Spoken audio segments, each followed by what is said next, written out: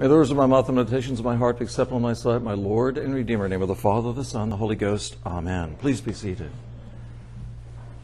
Well, as uh, we spent some, as I mentioned before, some time talking about how wonderful the creation of this world and you and the cosmos uh, is, and how difficult, difficult it is to understand, and in fact, how science is discovering how absolutely stunning and multidimensional everything is, um, which, if you, if you read for those of us that are not deeply involved in some of this uh, uh, jargon, the whole fact that time itself can be changed and warped, etc., and gravity is considered to be like a bouncing a trampoline because it kind of comes around things and it curves in space and all of that stuff that you and I go, oh wow, let's go, let's watch that program again. That was really fun to watch.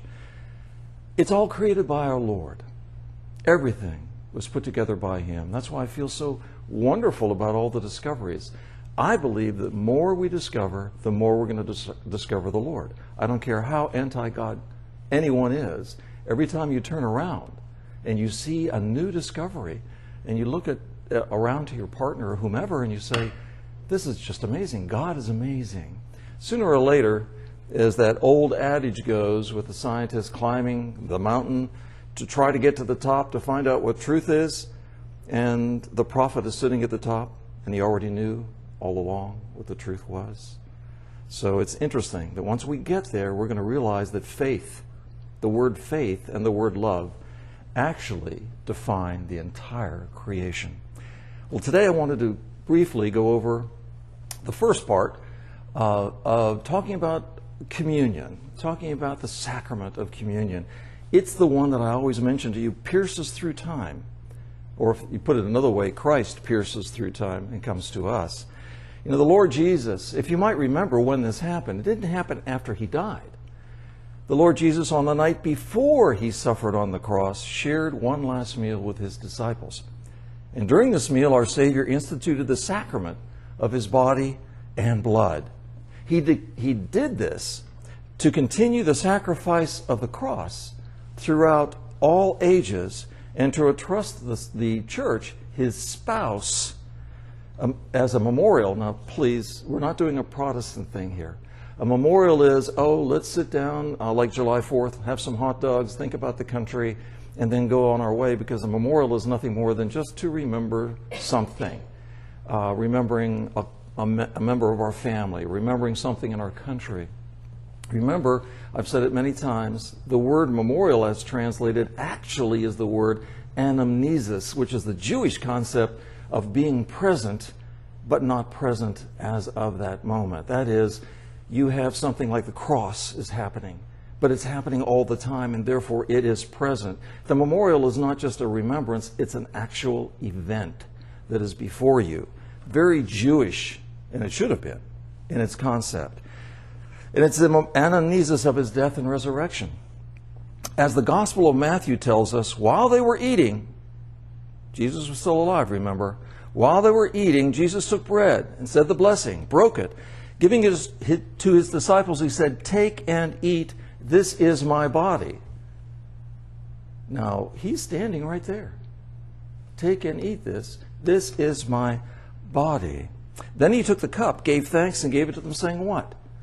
Drink from it, all of you, for this is my blood of the new covenant, which will be shed on behalf of many for the forgiveness of sins. Now, that's in Matthew and Mark and Luke and 1 Corinthians. It, it's everywhere in the New Testament. Now, recalling these words of Jesus, the Anglican Catholic Church confesses that in the celebration of the Eucharist, the bread and the wine become the body and blood of Christ. Now, what I mean by become, we're not using the Roman Catholic concept here that it is a, um, um, an appearance. There's something that we see, but we can't really see the body. The, the, the wine is the blood, but we can't really see it. It basically is translating God back into mortal existence. God didn't say that. Christ said, This is my body. He didn't say how. He said, This is my blood. He didn't say how. What he did say was, I am with you. By you acting, taking the bread, taking the wine, I am mystically present. He didn't say, well, we'll get to that in a second.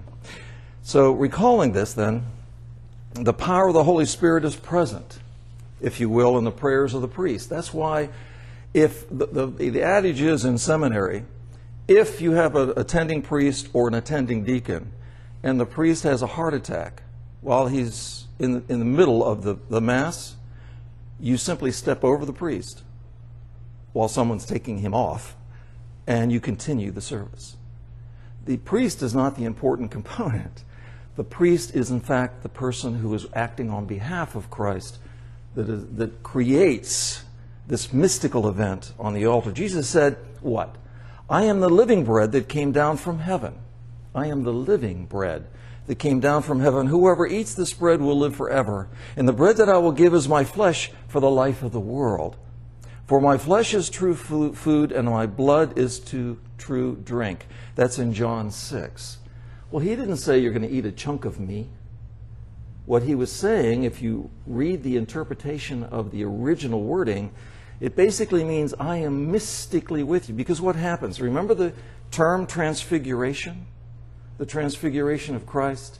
When he went to heaven, his body was transfigured, if you will, became bright, became shiny if you want to use that term, It was transfigured. He mystically now exists for us. He knew that. And he was preparing us for that. That's why I find it so interesting when I still get comments, well, you guys are just cannibals. You think you're cannibals up there. You're eating. No, that's not. You please read the Bible. Uh, you'll understand better if we can teach you a little bit better. This is what the church means when she speaks of the real presence of Christ in communion. This presence of Christ in communion is called real, not to exclude other types of presence. I mean, he's really present in other places and times, but the real presence of the communion is very important. What does it mean that Jesus Christ is present in the Eucharist when we have the bread and wine, and how does it happen? The presence of the risen Christ in the Eucharist is an infinite mystery. And if you have a priest that tells you that he can, he can kind of explain it to you, I think I'd go someplace else because he really doesn't know. We none of us know. We must remember that the triune God is the creator of everything that exists and has the power to do anything beyond what we could even imagine. As St. Ambrose said, if the word of the Lord Jesus is so powerful as to bring into existence things which were not, then a fortiori, those things which already exist can be changed into something else. St. Ambrose. God created the world to share his life with persons who are not God. And I know that we have Scientology here in town, and Thetans inside of each one of those Scientologists are many gods. That's why I always have an interesting argument with, with Scientologists. Uh, it's interesting when that comes out of actually a sci fi writer that started this whole thing. But they actually believe that they are an extension of God, Thetan within them. All they have to do is get to that level. I guess that's how much money you donate. Get to that level, and you actually are part of God. Or in, in essence, you are a God. Uh, we don't believe in extension in Christianity. We are a creation. We will never be God. I'm sorry. You can try, but you're never. If you're a Virgo, maybe that's what you want to be if I understand horoscopes properly. I don't know. But you're not going to get there. You're just not going to get there. God reveals His truth to us in ways that we can understand through what? Faith. That's why you have faith is so wonderful. It is not demeaning. I always like to in college. I don't know if you've ever heard those stories in college, where somebody who uh, might be in the College of uh, I'm going to pick on somebody here, College of Engineering, and uh, somebody else is in the College of Engineering, and they've decided, well, I didn't pass that last exam, so I think I'm going to change my, my major to psychology. And they missed that exam, so they changed their major to something else, sort of down the feeding chain. Uh, and I always love these kids in college, like, yeah, this guy is going to end up in this school over here. Watch, you know, he's just not doing very well. It's interesting when you watch 18 and 19 year olds making their comments in very difficult pre med, engineering, mathematics, all of those kinds of things. Well, God reveals the truth to us here, if you will, that faith through grace is indwelling. Faith is not the lower level. it's not something that people do when they can't figure things out. Faith is on the top. Faith is giving yourself totally to what Christ has asked for. That's like staying in the College of Engineering and not going anywhere because you have faith. You're with Him. He will be with you forever.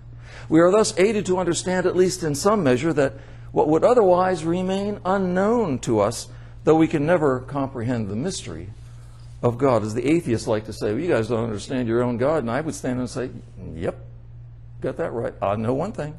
He's created us, and I know the second thing. I have faith and love for Him. Now, what do you have faith and love in? I'm not sure atheists have that in anything. As successors the, of the apostles and teachers of the church, the priests have the duty to hand, to hand on what God has revealed to us and to encourage all members of the church to deepen their understanding of this mystery. Please understand, you're never going to understand the mystery of, of the church or of communion. So, why does Jesus give himself to us as food and drink then? Well, you know my old adage, he calls us how many times? More than 250 times we're called sheep. So we kind of bumble along and you know, we need a shepherd to his voice so we don't fall over the cliff, which we would do without him helping us. So Jesus gives himself to us in the Eucharist in spiritual nourishment because he loves us. You can't love God without God loving us first. And if you think you can love God first, then you are stuck in the wrong world. You are unable to even love your partners, your husband, your wife, your children, your grandchildren, unless you love God first. God's whole plan for our salvation is directed to our participation in the life of the Trinity, the communion of the Father, the Son, and the, we tend to think of communion, and I, have asked children that, well, teenagers, uh, when you receive communion, who do you receive? I receive Jesus Christ. No. You receive the Father, the Son, and the Holy Spirit. Jesus is just as much God as God the Father is. You receive all of the Trinity at one time. God's whole plan then is for you to do that. It is strengthened and increased. We start with baptism, it's strengthened and increased in confirmation, and it's nourished deepened by the Eucharist. By eating the body and drinking the blood of Christ in the Eucharist, we become united with Christ. Whoever eats my flesh and drinks my blood remains in me, and I in him. That's John 6. In being united to the humanity of Christ, we are at the same time united in his divinity. I've realized I just said to you, you can't be God, and you, you and I never will be, but we are united in his divinity not ours. We are not divine. He has brought us close to his bosom, the divinity of Christ, so that we might be nourished. If you will, just as the living Father sent me and I have sent life because of the Father, so also the one who feeds on me will have life because of me. John 6. By being united to Christ through the power of the Holy Spirit dwelling in us, which means God is dwelling in you, we are drawn up into the eternal relationship of love between the Father, the Son, and the Holy Spirit. I mentioned that to you previously. Think of the Father, Son, and Holy Spirit like an atom proton, neutrons, and electrons. It is bound so tightly by the greatest of the four forces, and now we discover there are five. The four forces that hold the, the strong nuclear force that holds it all together, holds us all together. Christ is bringing you into that strength, that combination, that tightness of the Trinity. Through the sacraments of baptism and confirmation, another term for that in the in ancient Greek is chrismation, we are temples of the Holy Spirit who dwells in us, and by his indwelling we are made holy by the gift of sanctifying grace. Your mama was right. You are a temple and you need to take care of that temple. I don't know about you, but I heard that a lot. She was right.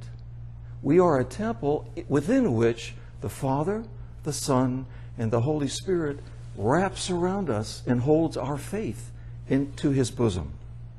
The ultimate pros- promise of the gospel is that we will share in the life of the Trinity. It's that simple. All of the gospel is about one thing our sharing life in the Trinity. The fathers of the church called this participation in the divine, life divinization. I even said that, didn't I? Divinization, or theosis, if you will. In this, we see God does not merely send us good things. Here, I think I'll give. I love that. Would you ever watch those movies about the Greek stuff? The Greek gods kind of fought amongst themselves and fought with humans, and then there were half humans and half gods, and uh, it's kind of kind of cool reading. It is fiction, but it's kind of cool reading when you read the old Greek texts. In essence, though, uh, divinization is a little different. In this, we see that God doesn't send us good things. Boom! I think I'm going to give him. I'll give him the special sword and the special shield, and, and he'll fight on behalf of God. God doesn't do that. He just doesn't do that. Instead, we are brought up into the inner life of God. He doesn't throw things down to us. He wraps around us and brings us up to Him. We're brought into the inner life of God, the communion. Just think of it. How amazing is that? That you are brought into the communion of the Father, the Son, and the Holy Spirit. I don't know about you, but I don't deserve it. I'm not too sure I know very many people that do. There are some saints out there, which you all should be, but there are some a little bit more saintly than others. And even those individuals have gone, for example, St. Teresa. I love the story about St. Teresa. Three separate times she went to the Pope and said, I've lost my faith. And three separate times he sent her back and said, No, no, no, it's not your faith. You have the wrong perspective. You are God's child. Faith is to accept your living within the Trinity. In the celebration of the Eucharist, which means, by the way, the Eucharist means thanksgiving. So communion is one thing. We tend to call it the Eucharist, and you think of communion, but the Eucharist is our entire Mass, the celebration within which we receive communion. We give praise and glory to God for that sublime gift. We will continue a little bit more with our discovery of Holy, of, uh, Holy Communion, but we'll do that in the coming weeks. In the name of the Father, and of the Son, and of the Holy Ghost. Amen.